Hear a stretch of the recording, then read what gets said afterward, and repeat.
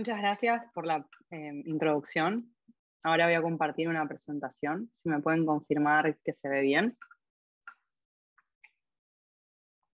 Bueno, antes de introducir la herramienta de estimación de déficit, permítame contarles que esta herramienta forma parte del Open Urban Planning Toolbox. Es un conjunto de herramientas orientadas a la planificación urbana que fueron desarrolladas bajo el liderazgo del sector de vivienda y desarrollo urbano del BID. Los instrumentos del Open Urban Planning Toolbox forman parte de la familia Code for Development. Open Urban Planning Toolbox se orienta a la gestión de ciudades y al análisis de las mismas. Además de la herramienta que voy a presentar hoy sobre estimación de déficit, les puedo mencionar, por ejemplo, el Urban Growth Model, una herramienta para realizar simulaciones de crecimiento urbano.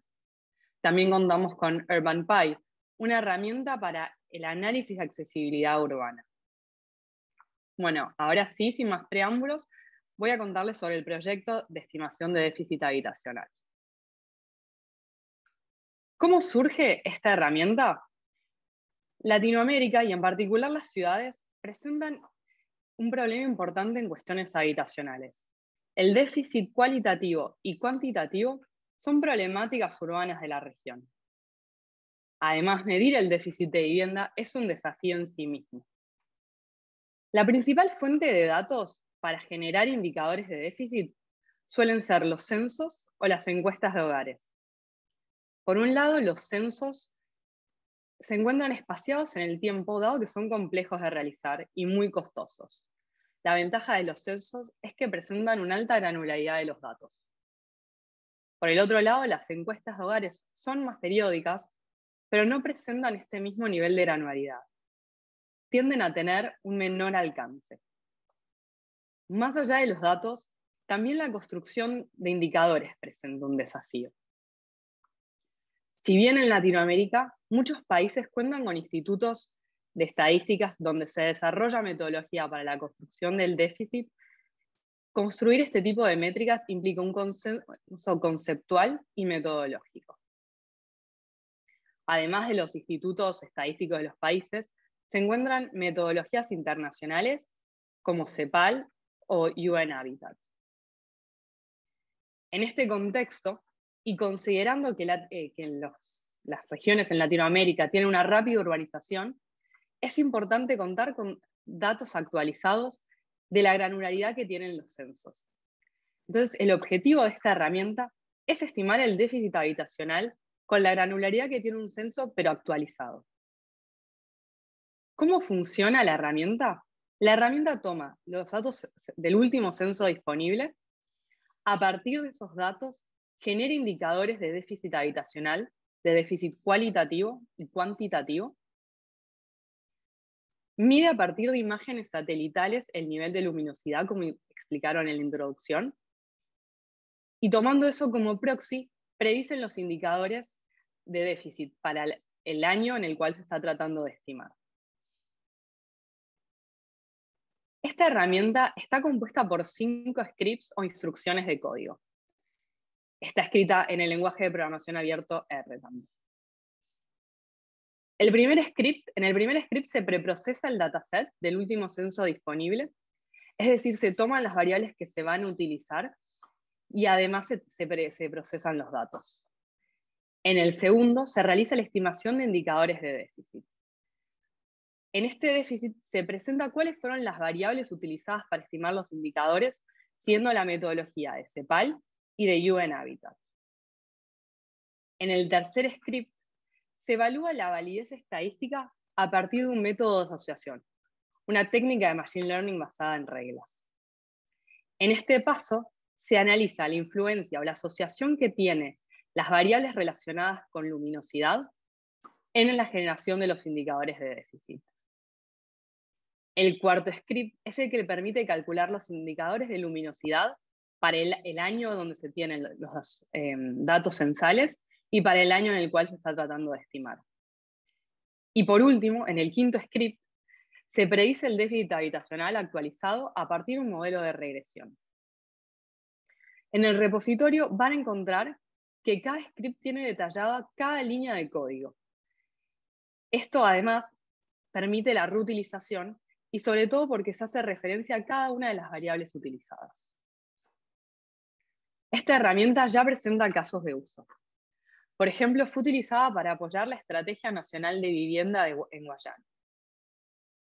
Se contaba con el censo del año 2012 y a partir de estos datos se calcularon a nivel de unidad administrativa los indicadores de vivienda de déficit cualitativo y cuantitativo.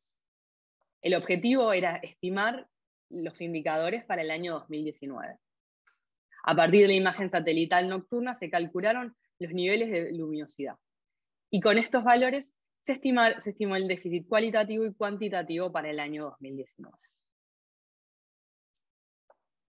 ¿Cuáles son los requisitos para poder utilizar esta herramienta? En primer lugar, voy a mencionar los requerimientos técnicos. Como mencioné anteriormente, la herramienta se encuentra escrita en el lenguaje de programación R. Es necesario contar con cierta experiencia en el uso de este lenguaje. Además, y dado que la herramienta realiza geoprocesos sobre la información censal y sobre las imágenes satelitales, es necesario tener ciertos conocimientos de manipulación de datos espaciales. Esta herramienta no tiene ningún requerimiento en cuanto a sistema operativo. Se puede utilizar en Linux, en Mac, en Windows, sin ningún problema. Por otro lado, es necesario contar con datos, con datos previos. Por un lado están los datos censales espaciales que deben tener suficiente granularidad. Es decir, tienen que estar a nivel de la unidad administrativa a la cual se quiera hacer el análisis. Además, hay que hacer hincapié en que los datos tienen que ser espaciales, es decir, tienen que tener dibujadas las geometrías de estas unidades administrativas. Por otro lado, es necesario contar con imágenes satelitales nocturnas. Adentro de la metodología de este instrumento van a encontrar una forma de descargarlas de forma online. Este instructivo permite descargar imágenes satelitales desde el Earth Observation Group. También en la metodología van a encontrar otro instructivo para poder recortar las imágenes satelitales manteniendo solamente el área de análisis. Esto reduce las necesidades computacionales. Si bien se trata de una herramienta de código abierto, pueden surgir ciertas complejidades para su reutilización. En primer lugar, y como ya mencioné antes, es necesario contar con insumos de datos previos, las imágenes satelitales por un lado, y además la información censal, que tiene que tener nuevamente cierta granularidad. También es necesario la comprensión de la metodología para generar indicadores de déficit del país o del área de análisis. Como mencioné previamente, el, instrumento cuenta con unas ciertas reglas para generar indicadores de déficit, pero va a ser necesario ajustarlas según las variables disponibles que cuente el censo del país o del área y la metodología del país. Algunas variables pueden no ser necesarias tenerlas en cuenta o pueden no estar disponibles para el censo de. Por último, es necesario tener en cuenta la validez estadística que tiene la luminosidad como proxy del, déficit habitacional. En áreas donde el déficit habitacional está más relacionado con otro tipo de variables, por ejemplo, el hacinamiento, la predicción de este modelo puede ser no tan acertada. Por eso es importante tener en cuenta los tests.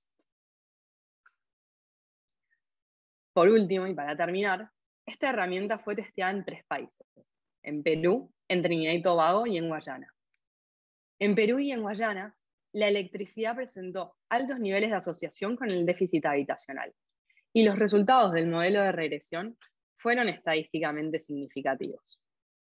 En Trinidad y Tobago, como puede verse en la imagen satelital, presenta altos niveles de iluminación.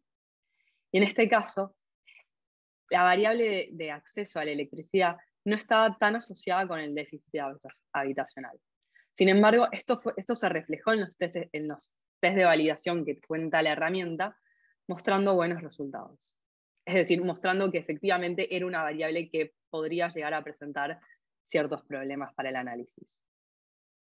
En este sentido, podemos decir que la herramienta demostró resultados muy prometedores, tanto para predecir déficit habitacional como para validar la predicción. Muchísimas gracias por el espacio. Los invito a probar la herramienta que se encuentra disponible en el repositorio de Code for Development.